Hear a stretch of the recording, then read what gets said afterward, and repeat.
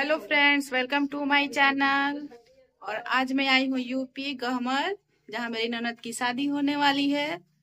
चलिए दिखाते हैं यूपी में लोग कैसे तैयारियाँ करते हैं। ये देखिए मेरी बड़ी ननद के बेटे जो अभी जा रहे हैं नाश्ता करने। नाश्ते में क्या है? लिट्टी आलू गोभी की सब्ज़ी। टेस्टी तो दिखने में लग ही रहा है। खाने के बाद पता चलेगा।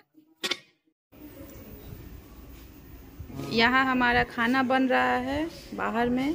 घर में इतने सारे लोगों का खाना नहीं बन पाएगा। और ये है राशन का सामान, दिखाती हूँ अंदर का व्यू।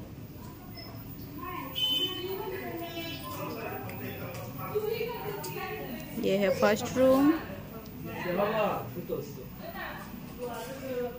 ये सेकंड रूम। ये सारे सामान जो शादी में देने वाले हैं, वो अगले वीडियो में दिखाऊँगी।